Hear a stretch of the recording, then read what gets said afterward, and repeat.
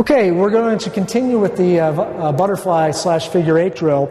Uh, we're going to have a couple different views so you can see um, how it looks like from the forehand and the backhand side. So I want you to pay strict attention to how, the, once again, the racket is. I can't emphasize this stuff enough. You've got to have the racket face open when you strike the ball. You've got to produce a little bit of underspin. So you've got to keep the feet moving. You've got to be light on your feet. So let's see how we can do here. Well, I'm not so good on that one. So I'll have to reload. So you got to remember to be uh, patient in this game. They don't always go perfectly.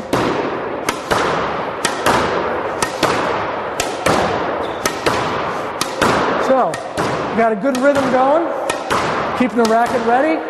I'm getting a good body turn. Get to work on all the different high volleys. Picking up a low ball there.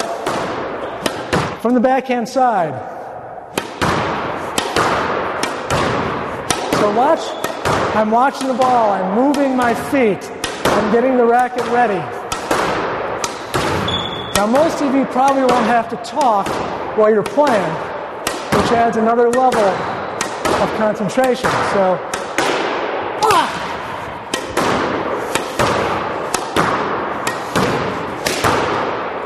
But that's the butterfly drill for you. It's a great workout. It's a great uh, drill to increase your focus and your ability to hit the ball.